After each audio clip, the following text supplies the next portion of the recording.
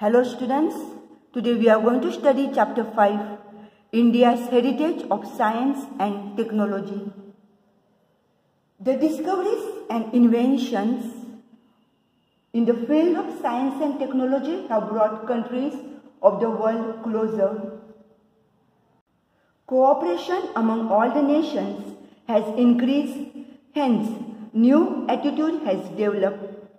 Countries have become oriented towards peaceful coexistence and world peace. Science means systematic knowledge and technology means the practical utility of systematic knowledge. Science and technology, in spite of being two different words, they are linked to each other. So students, look here. The discoveries and inventions in the field of science and technology have brought countries of the world closer. Yes, nowadays we see that our world is more and more developing in science as well as in technology. And due to new new technology, the countries have come closer. The world has become one family. Cooperation among all the nations has increased. Hence, new attitude has developed the cooperation, the support which we receive from one uh, another, that is one nation, one country receives from the another country has increased and so the new attitude has developed. Countries have become oriented towards peaceful coexistence and world peace. You have studied last year also. Uh, uh, the League of Nations taking some steps to maintain peace and then comes UN Charter in order to maintain peace. So the countries have been taking, taking care that they are becoming more oriented towards peaceful coexistence and world peace.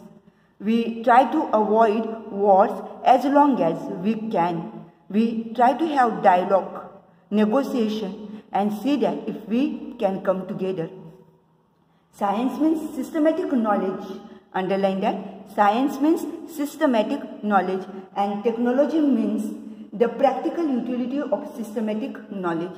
So what is science? Science is a systematic knowledge whereas technology is a practical utility or use of systematic knowledge. Science and technology in spite of being two different words, they are linked to each other.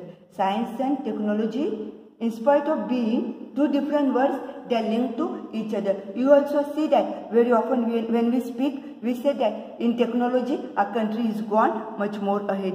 Uh, if you go to see, science and technology has been progressing. And so students, these two words have been linked to each other. Now, let us study about heritage of ancient India in the field of science and technology. You know that earlier also four chapters we studied about the heritage.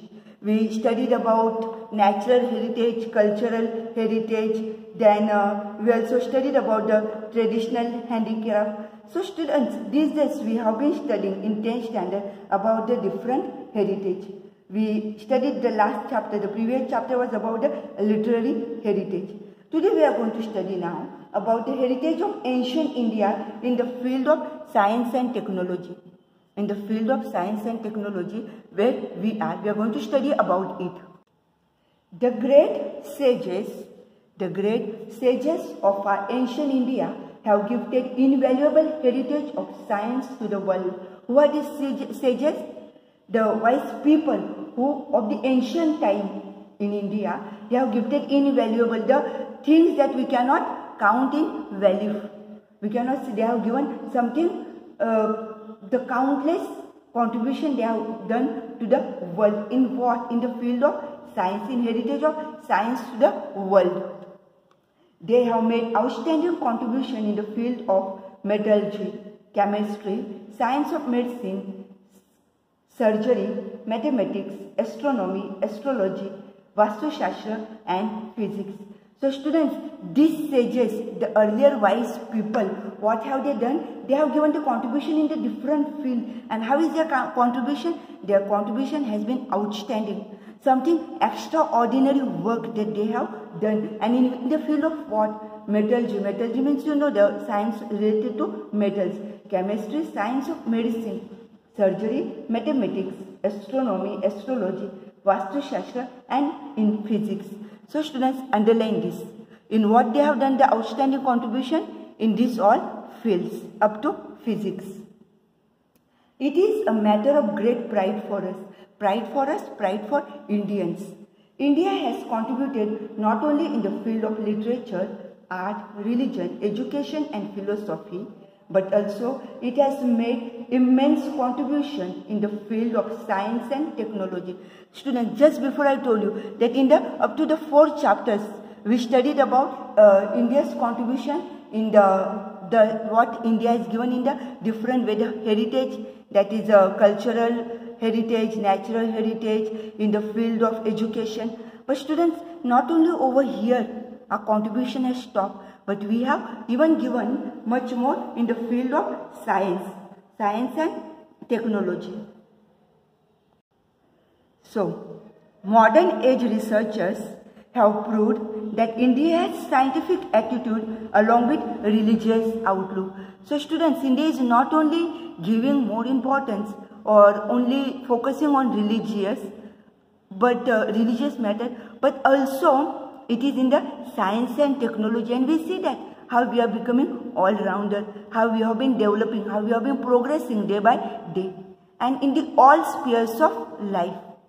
Everywhere India has contributed which we already studied over here. We saw that in the field of metallurgy, in the chemistry, science of medicine, surgery, mathematics.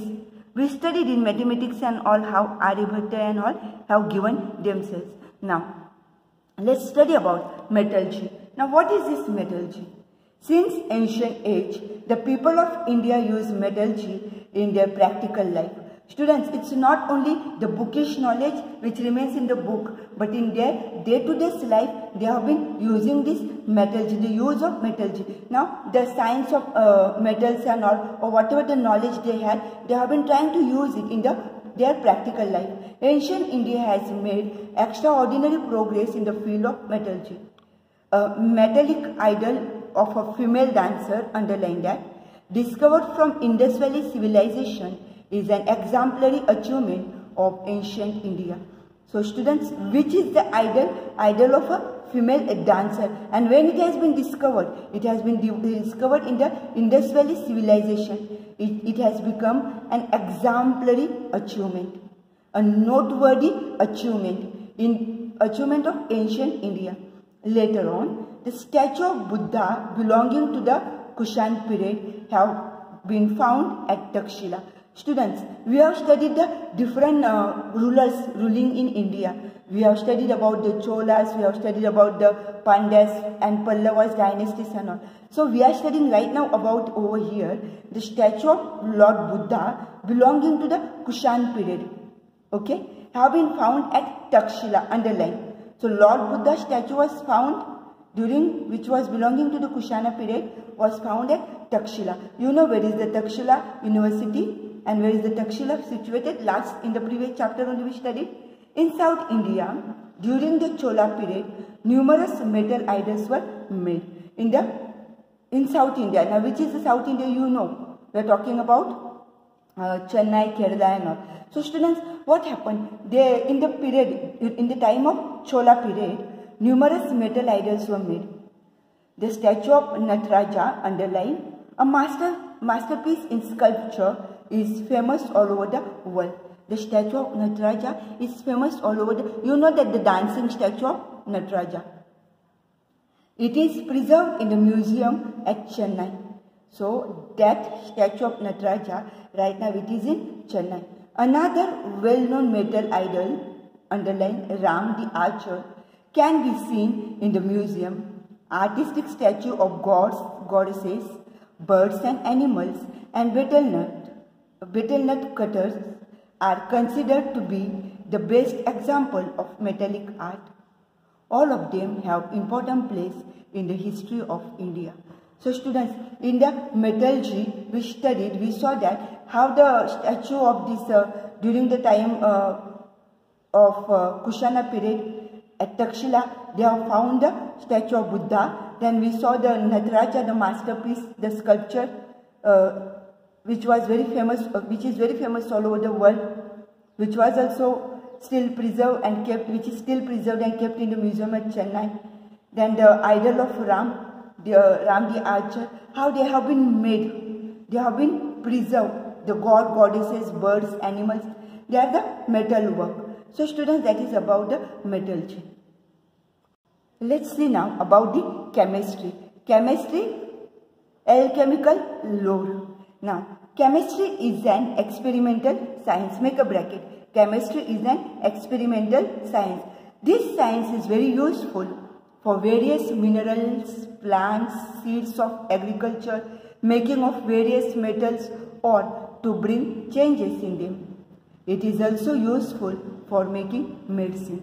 So you know students how chemistry helps us in making these various things. Like uh, when we want to use for the, uh, the science, this chemistry is also helpful for what? Minerals, plants, seeds of agriculture, making of various metals, to bring changes in them also very useful in making the medicines. Acharya Nagarjun, a learned Buddhist of Nalanda University, is known as Acharya in the field of chemistry. Students make a bracket. Underline that Acharya Nagarjun. Who was he? He was a learned Buddhist of Nalanda University. And what was he known for? It was he was known for known as an Acharya in the field of chemistry. He had written book. He had written books like underline the students. Rasa Ratnakar and Arogya Manjari, underline that. Acharya Nagarjuna advocated the use of allopathy along with the herbal medicines. So, along with the herbal medicines, he also started using what? He also started focusing on allopathy. Now students, why allopathy and all? We are studying about the chemistry. Okay? Then, it is believed that the use of mercury, mercury ash as a medicine was initiated by him. Initiated by whom? Initiated by Acharya Nagarjuna. Nalanda University had its own school of chemistry and furnace for study and research underline the students make a bracket. Nalanda University, underline that Nalanda University had its own school of chemistry and furnace for study and research. The description of main rasa, uparasa, 10 types of poisons as well as various types of salts and ash of minerals is seen in the chemistry. So students what? The description of main rasa or rasa uparasa, 10 types of poisons as well as various types of salts and ash of minerals is seen in the chemistry. The copper statue of Buddha reflect an expert knowledge and skill in the field of chemistry. So copper statue of Buddha okay reflects an expert knowledge and skill in the field of chemistry. The copper statue of Buddha discovered from Sultanganj in Bhagalpur district in district of Bihar is seven and a half feet high and weight and weighs one ton. Students underline now the copper of Lord, Lord Buddha or the copper of statue Buddha statue of Buddha reflects an expert knowledge and skill in the field of chemistry. The copper statue of Buddha reflects an expert knowledge and skill in the field of chemistry. Underline that. Knowledge and skill in the field of chemistry. The copper statue of Buddha discovered from Sultanganj in Bhagalpur district, underline that, of Bihar, which is seven and a half feet high. And how much is the weight of it? It weighs one ton. Okay? One ton. Then, the weight is one ton, underline. The statue of Buddha, turn the page. The statue of Buddha, which is in Nalanda, is 18 feet high. Underline the students, 18 feet high. An exquisite example is of Vijay Stambha, the 24 feet high iron pillar. Underline that, 20 feet high iron pillar. Over here, which, which weighs 7 tons built by Chandragupta II. Built by whom? Chandragupta II. Underline. In spite of nature's fury, over centuries, the pillars has not yet corroded. They are not yet spoiled. Okay. This is the best example of alchemical lore of India. Alchemical lore because of the chemical and all which have been used or which chemical has been doing the wonder, which has kept the monuments still safe. And what is the reason? The credit goes to alchemical lore, the chemistry. Okay. So students, we studied about this today. I am going to stop over here. Please read the lesson. We shall see the next part will be about the science of medicine and surgery. I want you to study about metallurgy because it can be asked in the exam. Sometimes they ask for uh, 2 marks or sometimes 4 marks question asking as to write about metallurgy as well as the chemistry. Have a good day. I am going to stop the class over here.